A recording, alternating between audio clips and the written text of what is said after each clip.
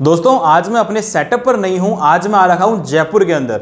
दोस्तों, अगर आप पोको X2 लेने की सोच रहे हो ना तो एक बार के लिए रुक जाओ, क्योंकि यहाँ पर आपको डिस्प्ले और चार्जिंग बहुत ही कम देखने को मिल रही है। दोस्तों पोको X2 एकदम ठंडा था मार्केट में, लेकिन Realme 7 Pro आने के बाद में फिर से मार्केट में कंफ्यूजन है कि हमें कौन सा फ़ोन लेना चाहिए। तो यकीन मानिए, ये वीडियो पूरा देखने के बाद में आपको मैं बहुत ही बारीकी से बताने वाला हूँ कि दोनों फ़ोन के अंदर क्या क्या फ़र्क है, कौन सा डिफरेंस बहुत ही मैटर करता है, और आपके लिए कौन सा फ़ोन यहाँ पर बेटर वैल्यू फॉर मनी निकाल पाएगा। हेलो दोस्तों, मेरा नाम है दीपक और आपका स्वागत है एंड्रॉइड गुरुजी में। दोस्तों, एक बात क्लियर कर दूँ कि मैं मार्केट में जाके सभी फ़ोन की टेस्टिंग करता हूँ, उसके बाद में आके आपको यहाँ पे बताता हूँ। तो अगर आपको अनबायस्ड ट्रूली वीडियोस पसंद है तो हमारे चैनल को सब्सक्राइब करके बेल आइकन को ऑल पे सेट कर लीजिए, ताकि आने वाली नोटिफिकेशन आप तक सबसे पहले पहुँच पाए। तो चलो, सबसे पहले हम बात करते हैं यहाँ पर डिस्प्ले के बारे में। तो जो Realme 7 Pro है, वहाँ आपको मिलती है 6.4 इंचेस की super AMOLED full H plus की डिस्प्ले 60 हर्ट्ज की रिफ्रेश रेट गोरिल्ला ग्लास 3 की प्रोटेक्शन लेकिन अगर हम बात करें ना पोको X2 की, वहाँ पर आपको बड़ी डिस्प्ले मिल रही है 6.67 इंचेस की।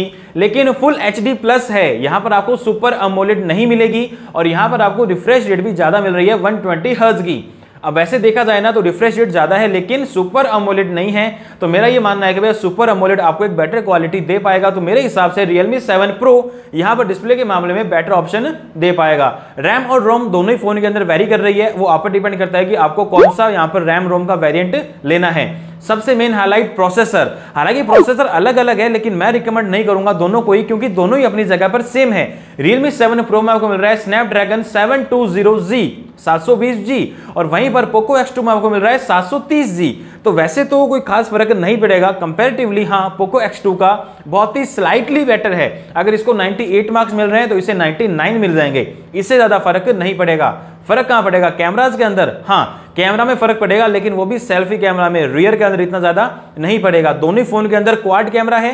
Realme 7 Pro है, वहाँ आपको मिलता है चौसठ मेगापिक्सल का Sony IMX 682 प्लस 8 प्लस 2 और प्लस 2 के बाकी सेंसर्स यहाँ पर मिल जाएँगे। Poco X2 के अंदर अगर हम बात करें ना रियर कैमरा की तो वहाँ पर भी क्वाड कैमरा सेटअप है। पहला कैमरा आता है चौसठ मेगापिक्सल का Sony IMX 686 के साथ में प्लस एट प्लस टू और प्लस टू अब, Sony IMX 682 और 686 के अंदर बहुत ही स्लाइटली फ़र्क है। अगर आप फ़ोटो को कंपेयर भी करते हो ना तो आपको इतना ज़्यादा पता नहीं चलेगा। लेकिन फ्रंट कैमरा में बहुत ही मेजर डिफरेंस है। क्यों? क्योंकि रियलमी सेवन प्रो में आपको मिल रहा है 32 मेगापिक्सल का फ्रंट कैमरा, लेकिन Poco X2 में आपको मिल रहा है 20 प्लस दो का, और दो है यहाँ पे डेप्थ के लिए। तो वैसे अगर कंपेरेटिवली देखा जाए कि चलो ठीक है भाई पोको के अंदर आपको डुअल मिल रहा है, लेकिन 32 मेगापिक्सल की जो क्वालिटी है ना, आपको रियलमी 7 प्रो वाली बैटरी मिलेगी।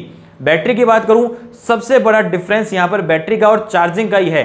क्यों है? क्योंकि रियलमी सेवन प्रो में आपको मिलती है पैंतालीस एमएच की बैटरी पैंसठ वोट का डार्ट चार्ज और कंपनी का यह कहना है कि 34 मिनट में बैटरी 100 परसेंट पूरी चार्ज हो जाएगी। लेकिन इसका बिल्कुल उल्टा है यहाँ पर पोको X2 के अंदर। क्यों? यहाँ पर आपको बैटरी मिलती है पैंतालीस एमएच की सेम लेकिन 27 वोट की चार्जिंग आती है और कंपनी ये कहती है कि लगभग लगभग आधे घंटे में 50 परसेंट बैटरी ही आपकी चार्ज हो पाएगी। तो कहाँ 34 मिनट के अंदर 100 परसेंट और कहाँ 34 या आधे घंटे के अंदर 50 परसेंट? तो ये यहाँ पर एक मेजर डिफरेंस प्राइस रेंज की बात करें तो Realme 7 Pro है, वो बीस हज़ार से शुरू हो जाएगा। अब आगे देखते हैं कि ये कहाँ तक और जा पाएगा। और वहीं अगर हम Poco X2 की बात करें तो सोलह सत्रह हज़ार से स्टार्टिंग है इसके ऑफलाइन मार्केट के अंदर ऑनलाइन के अंदर, और लगभग बीस हज़ार तक इसका हायर वेरिएंट जाता है। हाँ प्राइस रेंज के हिसाब से अगर मैं यहाँ पे बताऊँ मेरे पर्सनल ओपिनियंस तो मैं ये कहूँगा कि अगर आपको बजट अलाउ कर रहा है ना, हज़ार दो हज़ार रुपए एक्स्ट्रा लगाने का तो अब रियलमी सेवन प्रो की तरफ़ जाइए। Poco X two design wise में मुझे पसंद नहीं है।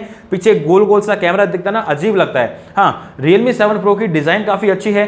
ठीक है, वैसे तो मतलब देखा जाए ना कि बिल्ड क्वालिटी दोनों के अंदर कोई खास नहीं है। बजट फ़ोन है, ठीक है। लेकिन Realme 7 Pro आपको यहाँ पर बेटर क्वालिटी दे रहा है डिस्प्ले की भी और चार्जिंग की भी। बाकी दोस्तों, आपके क्या राय है? दोनों ही फ़ोन के बारे में बताए मुझे कमेंट बॉक्स में। और हाँ दोस्तों, सारे कंपैरिजन चाहे वो Oppo F17 Pro का, Realme 7 Realme 7 Pro, सभी कंपैरिजन आपको लेटेस्ट इन्हीं दिनों में मेरे चैनल पर मिल जाएँगे। डिस्क्रिप्शन के अंदर आपको दे रहा हूँ लिंक वहाँ जाके आप देख सकते हैं। फ़िलहाल दोस्तों में इतना ही। Keep watching keep sharing